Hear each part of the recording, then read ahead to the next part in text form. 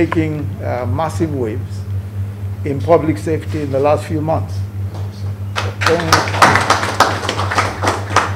Only, only recently, I went to the FRSC by the Delta State government for the training of core uh, personnel of the Inspectorate cadre under a strategic partnership between the federal and state governments. I think also there is uh, somehow the Federal Road Safety Corps is able to uh, arm twist everybody to support it. because here we also find that uh, they somehow have managed to persuade some of the stingiest uh, government agencies to, to support them fully in this enterprise.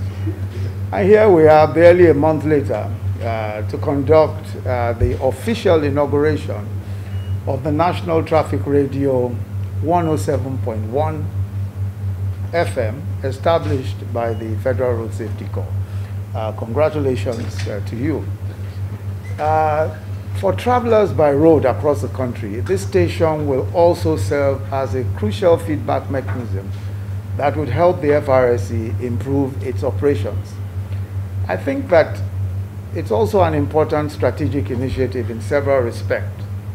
The first is that it takes advantage of the most widely used medium of information dissemination in our nation, the radio. Second, the service will enable effective dissemination of relevant information on road safety and the provision of up-to-date information on road conditions, as well as traffic status and security to the public.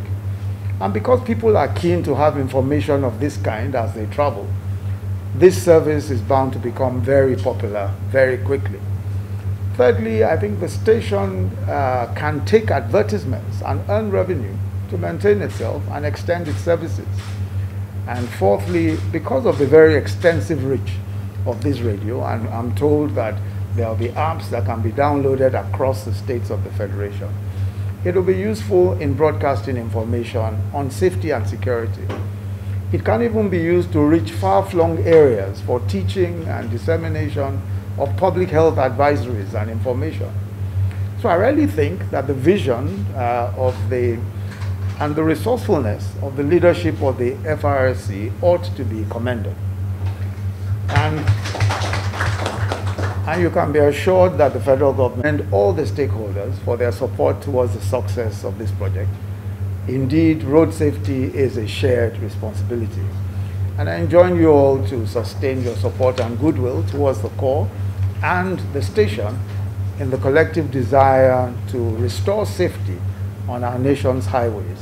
So on this note, uh, it's my privilege to inaugurate uh, the National Traffic Radio 107.1 FM today for the education, enlightenment, and entertainment